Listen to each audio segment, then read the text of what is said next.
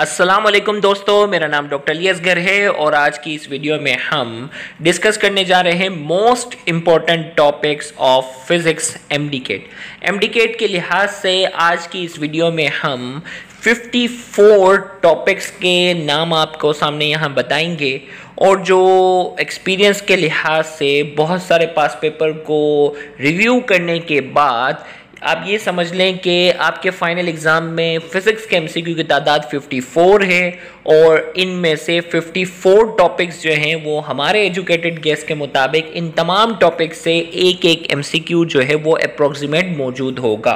तो वो स्टूडेंट जो इन टॉपिक्स को रिव्यू लाजमी रिवाइज कीजिएगा, क्योंकि इन टॉपिक से एमसीक्यू के आने के चांसेस जो हैं, वो बहुत ज़्यादा हैं। तो आज के इस लेक्चर को शुरू करने से पहले एज यूजल आपसे रिक्वेस्ट करेंगे कि अगर आपने अब तक हमारे चैनल को सब्सक्राइब नहीं किया, जो कि सिंध बोर्ड टीचिंग के नाम से है तो काइंडली आज ही आप हमारे चैनल को सब्सक्राइब करें और साथ ही साथ बेल आइकन को लाजमी क्लिक करें ताकि हमारी अपलोड करदा तमाम इंपॉर्टेंट वीडियोज़ की नोटिफिकेशन भी आपको रिसीव हो सके।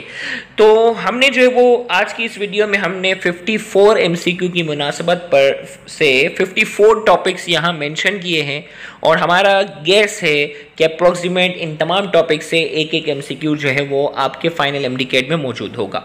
तो पहला जो एमसीक्यू जो हमारा एजुकेटेड गैस उसमें कुछ बेसिक डेफिनेशन हैं जो फोर्स एंड मोशन से रिलेटेड हैं। डिस्प्लेसमेंट एक्सेलरेशन इसी तरीके से जो है वो स्पीड जो बेसिक डेफिनेशन जो है ना आपके पास वो आपने जो है वो अच्छे से जो है वो रिवाइज करनी है और उनका फॉर्मूला याद कर लें, जिसमें इक्वेशन ऑफ़ मोशन वाली जो तीन इक्वेशन है ना फ़र्स्ट इक्वेशन सेकेंड और थर्ड मतलब इन बेसिक डेफिनेशन रिलेटेड आपके पास जो है वो अप्रोक्सीमेट पहला एमसीक्यू होगा। रिमेनिंग दो एमसीक्यू हमारे पास जो हमारा जो गैस है, उसके मुताबिक डिस्प्लेसमेंट टाइम ग्राफ और वेलोसिटी टाइम ग्राफ इनको आपने जो है वो क्या करना है, अच्छे से रिवाइज कर लेना है। इन दोनों ग्राफ से एक एक एमसीक्यू आने के चांसेस बहुत बहुत ज़्यादा हैं। इसी तरीके से फिर आपके पास एक आध एमसीक्यू जो है वो न्यूटन्स लॉ ऑफ़ मोशन से होगा, जिसमें फ़र्स्ट लॉ सेकंड लॉ और थर्ड लॉ से रिलेटेड कोई एक आध एमसीक्यू आपके सामने होगा। फिर एक आध एमसीक्यू जो है वो लीनियर मोमेंटम की कैलकुलेशन से रिलेटेड जो है वो अप्रोक्सीमेट हो सकता है, जिसमें आपने लीनियर मोमेंटम का जो फॉर्मूला है ना rate of change of linear momentum is equal to force ये वाला फॉर्मूला याद रखना है लीनियर मोमेंटम की यूनिट्स लीनियर मोमेंटम का जो फॉर्मूला वगैरह याद होगा तो इनशाला वो कवर होगा। Law of conservation of linear momentum momentum से रिलेटेड आपके सामने एक न्यूमेरिकल टाइप सवाल होगा, क्योंकि पास पेपर में इस तरह के न्यूमेरिकल्स आते हैं तो law of conservation of linear momentum वाले न्यूमेरिकल की आपने जो है वो अच्छे से उसका फॉर्मूला याद रख लेना और उसके न्यूमेरिकल की थोड़ा सा आपने रिव्यू कर लेना फिर इसके बाद जो है वो प्रोजेक्टाइल मोशन से रिलेटेड आपके पास जो टॉपिक हैं time of flight maximum height और हॉरिजॉन्टल रेंज इससे रिलेटेड आपके पास जो है वो न्यूमेरिकल्स इससे रिलेटेड आपके पास जो है वो बेसिक कॉन्सेप्ट वाली चीज़ें एग्ज़ाम्पल से रिलेटेड चीज़ें आपसे जो है वो पूछी जा सकती हैं। फिर इसके बाद जो है वो आपके पास कुछ बेसिक डेफिनेशंस में वर्क वर्क की डेफिनेशन मैक्सिमम वर्क कब होता है मिनिमम कब होता है पॉजिटिव कब होता है नेगेटिव कब होता है, ये कॉन्सेप्ट एनर्जी और एनर्जी में काइनेटिक एनर्जी और पोटेंशियल एनर्जी से रिलेटेड आपके पास जो है वो छोटे मोटे न्यूमेरिकल्स उनकी तैयारी करनी है और इसी तरीके से जो है वो पावर से रिलेटेड आपके पास जो टॉपिक है, उसके आपने फॉर्मूला और इसके आपने यूनिट्स वगैरह जो डिफरेंट है ना एनर्जी की बहुत सारी यूनिट है ना BTU इसी तरीके से जो वो अर्ग जूल, किलो वाटर, ये ये ना कन्वर्जन जो है वो अच्छे से आप इसमें याद कर लेना। Law of conservation of energy related आपके पास जो है वो कोई कॉन्सेप्चुअल सवाल इसमें हो सकता। है फिर आपके पास जो है वो बेसिक डेफिनेशंस कुछ हैं angular displacement revolution degree radian angular velocity centripetal acceleration centripetal force ये जो तमाम जो डेफिनेशंस हैं, उनके फॉर्मूले आपने जो है वो अच्छे से याद रखने हैं। उनकी कन्वर्जन वन डिग्री कितनी रेडियन के बराबर, ये कोई बार है। वो आपने अगर पास पेपर के हमारे लेक्चर भी देखे होंगे तो आपको पता होगा वन डिग्री कितने रेडियन के बराबर है वन रेडियन कितने डिग्री के बराबर है, और वन रेवोल्यूशन जो है वो कितने डिग्री के बराबर है वन रेवोल्यूशन जो है वो कितने रेडियन के बराबर है। इस टाइप के जो है वो सवाल आपके सामने आते जाएँगे।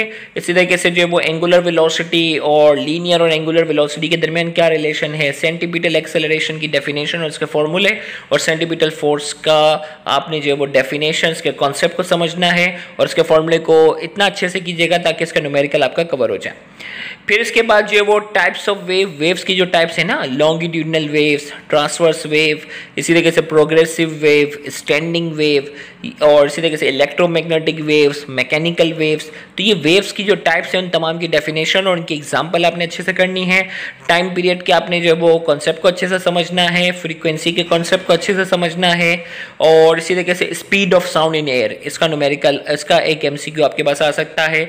स्टेशनरी वेव का आपने पूरा कॉन्सेप्ट जो है वो रिवाइज कर लेना है नोड एंटी नोड दो नोड के दरमियान क्या फासला है, एक नोड और एक एंटी नोड के दरमियान क्या फासला है, ये वाला पूरा कवर करना है। डॉपलर इफ़ेक्ट की डेफिनेशन और डॉपलर इफ़ेक्ट के जो केसेस हैं, उन तमाम केसेस को आपने क्या करना है रिव्यू करना है। सिंपल हार्मोनिक मोशन की डेफिनेशन और उसकी एग्जाम्पल्स जो है, वो आपने अच्छे से याद कर लेनी है।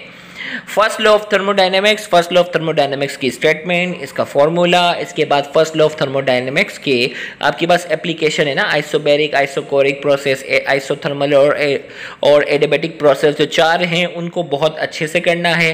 फिर इसके बाद जो वो heat capacity specific heat capacity जो डेफिनेशन है ना molar specific heat capacity molar specific heat of gas ये छोटी छोटी डेफिनेशन और इन तमाम के फॉर्मूले आपने अच्छे से क्या करना है रिवाइज करने हैं।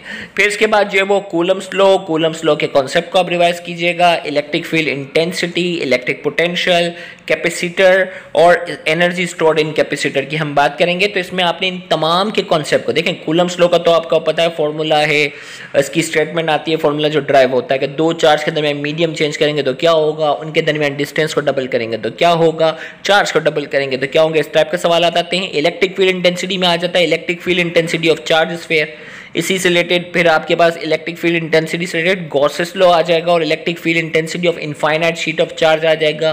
पॉइंट पी जो है वो बाहर है सरफेस पे इनसाइड है, ये सारी एप्लीकेशन आपने इसकी कवर करने लिए। इलेक्ट्रिक पोटेंशियल के कॉन्सेप्ट को आपने जो है वो रिकॉल कर लेना है। इसी तरीके से कैपेसिटर में आपके पास जो है वो कॉम्बिनेशन ऑफ़ कैपेसिटर और एनर्जी स्टोर्ड इन कैपेसिटर जो है इसके कॉन्सेप्ट को आपने वो कवर करना है। फिर इसके बाद ओम्स लॉ से रिलेटेड सवाल जो है वो कई बार आ चुका है। रेजिस्टेंस वाले जो है वो कॉम्बिनेशन ऑफ़ रेजिस्टर वाले सवाल आते हैं, उनको रिवाइज कर लेना। और ईएमएफ इलेक्ट्रोमोटिव फोर्स का जो कॉन्सेप्ट है, जिसमें इंटरनल रेजिस्टेंस और बैटरी वगैरह की चीज़ें हैं, उसको आपने अच्छे से रिवाइज कर लेना है। फिर उसके बाद जो है वो मैग्नेटिक फ़ील्ड मैग्नेटिक फ्लक्स ये जो छोटी छोटी डेफिनेशन होती है ना magnetic field magnetic lines of induction magnetic flux magnetic flux कब मैक्सिमम कब मिनिमम कब पॉजिटिव मैग्नेटिक फ्लक्स यूनिट और magnetic field of induction unit ये छोटी छोटी डेफिनेशन आती है, वो करनी है। फिर फराडेस लो के कॉन्सेप्ट को आपने समझना है, इसके फॉर्मूले को कवर करना है। लेंस लो है, और लेंस लो का कॉन्सेप्ट इसका हमारा बेहतरीन लेक्चर है। इनशाला उसको ज़रूर देखिएगा तो लेंस लो से रिलेटेड सारी चीज़ें उस एक लेक्चर में ही कवर कर दी है। फिर इसके बाद जो है वो ट्रांसफॉर्मर है ट्रांसफॉर्मर का बेसिक प्रिंसिपल जो है वो म्यूचुअल इंडक्शन है। उसी से रिलेटेड आपने ट्रांसफार्मर की कंस्ट्रक्शन उसके फॉर्मूले आपने अच्छे से करने हैं ताकि उसके न्यूमेरिकल कवर हो जाए। और पावर लॉस इन ट्रांसफार्मर का सवाल तकरीबन आपको कई बार रिपीट होते हुए नज़र आएगा। हिस्टेरिसिस लॉस एडीज करंट ये वाली चीज़ें।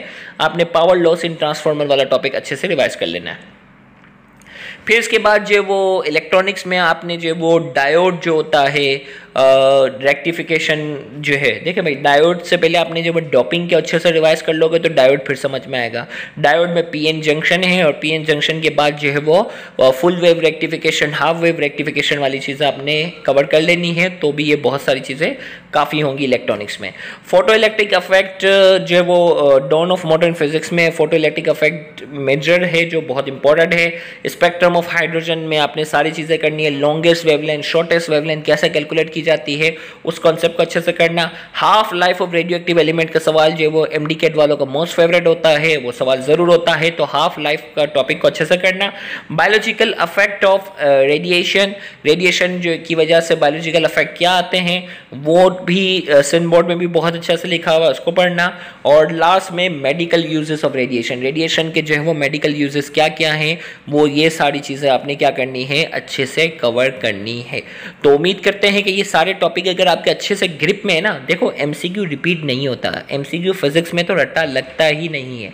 आपने टॉपिक्स जो जो मोस्ट इंपॉर्टेंट हैं, उन पर अगर आपकी ग्रिप है तो इन उम्मीद करते हैं कि आप फाइनल में बहुत अच्छा परफॉर्म करके आएँगे। तो ये टॉपिक्स हैं जो इस साल एम डी के लिए बहुत इंपॉर्टेंट हैं। अगर आप इनको अच्छे से रिवाइज कर लेते हैं तो आप समझ लें कि आपका एम डी फिजिक्स स्पेशली जो है वो बहुत ज़्यादा सेफ़ साइड पर है। आपको ज़्यादा टेंशन लेने की ज़रूरत नहीं है। Thank you very much Allah